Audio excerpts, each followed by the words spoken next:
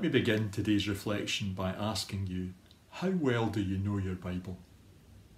For example, where do the following three quotations appear? First of all, cleanliness is next to godliness.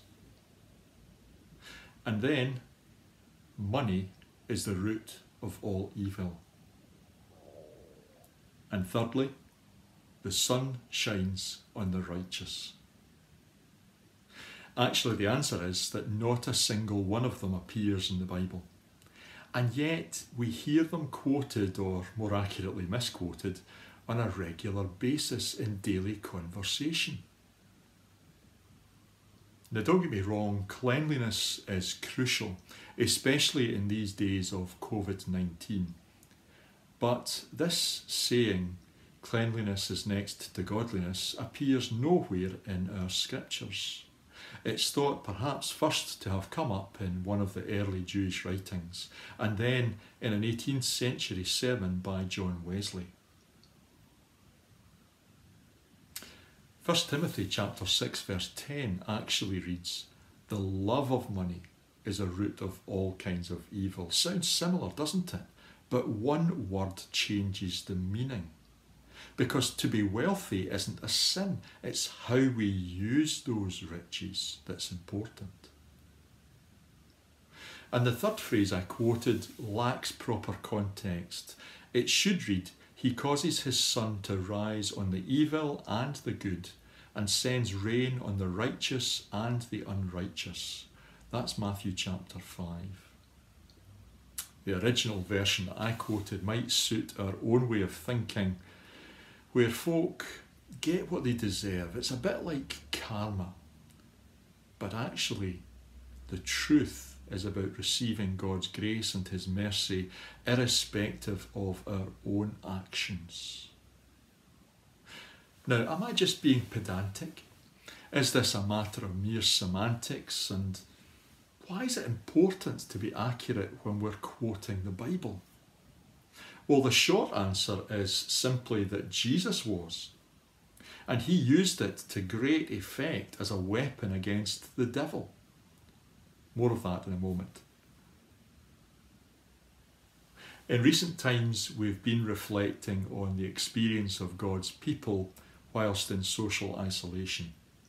David and Elijah, Noah and Moses have each been the subject of our thinking for the past three weeks. And now we turn our attention to Christ Himself. On more than one occasion, Jesus chose to go off by himself for a time. And like the other biblical characters we've been studying, Christ used the solitary nature of those times to pray and to be prepared by his Father in heaven. He was going to powerfully fulfill the ministry to which God had called him and he needed to be made ready. Now, probably the most famous of those times was when Jesus spent 40 days, yes, almost six weeks, without food in the wilderness. We read about it in the Gospel of Luke, chapter 4, verses 1 to 12. Jesus, full of the Holy Spirit, left the Jordan and was led by the Spirit into the wilderness, where for forty days he was tempted by the devil. He ate nothing during those days, and at the end of them he was hungry. The devil said to him, If you are the Son of God, tell this stone to become bread. Jesus answered, It is written, Man shall not live on bread alone. The devil led him up to a high place and showed him in an instant all the kingdoms of the world. And he said to Jesus, I will give you all their authority and splendour. It has been given to me, and I can give it to anyone I want to. If you worship me, it will all be yours. Jesus answered, It is written. Worship the Lord your God and serve him only. The devil led him to Jerusalem and had him stand on the highest point of the temple If you are the Son of God, he said, throw yourself down from here, for it is written, He will command His angels concerning you to guard you carefully. They will lift you up in their hands so that you will not strike your foot against a stone. Jesus answered, It is said, Do not put the Lord your God to the test. Notice how Christ combats Satan's attacks. It is written. He accurately quotes the Word of God again and again, and he sends the devil away with the tail between his legs.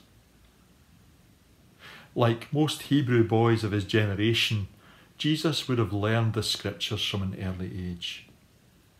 I find it quite remarkable to think that the book of Psalms, for example, we have in our hands today, would have been precisely the same words Jesus read and sang as a boy and as a man. How wonderful. Though a great deal in our world has changed, the promises of God have not. During lockdown, we have the ideal opportunity to read and to study and to learn, as well as to deepen our faith and to trust that what God has said and what God has promised His people is true. These days, there are loads of Bible apps for your phone or your tablet or your computer. YouVersion, Our Daily Bread, Bible Gateway. These will lead you through a portion of the Bible each day, and they're free to use. There's also quite a few helpful devotional apps, things like Lectio 365, Sanctuary First, Pray As You Go, UCB Word for Today. For those who'd like to find out a bit more about these, I'll put links in the comments section below. If you stick at it, and why wouldn't you stick at it, before long you'll have read the whole Bible. I'm reminded of a limerick which goes like this A keen Bible student named Wheatsley underlined each important verse neatly, and the scriptures he found are so great and profound that he'd soon read the whole thing completely. So, what are your favourite bits of the Bible? And which parts has God been speaking to you through in this period of lockdown? Here's a couple of verses I have pinned on my study wall. Do not throw away your confidence. It will be richly rewarded. You need to persevere so that when you have done the will of God, you will receive what He has promised. That's what God's been saying to me. What's He saying to you? Why don't you take some time to write out a verse or two of encouragement from the Bible and then take a photo and upload it to the comments section below? Now, let's wait upon God in prayer. Lord God, you sent your Son Jesus Christ into the world to be the Word made flesh. He taught and exemplified your ways, and he called us to follow in that way. But how can we do so properly unless we know your way? And so we pray that in these trying times of lockdown, we will learn to value your scriptures more and more. Give us understanding, as well as the will to put into practice what we glean from our daily devotions. In Jesus' name we pray. Amen.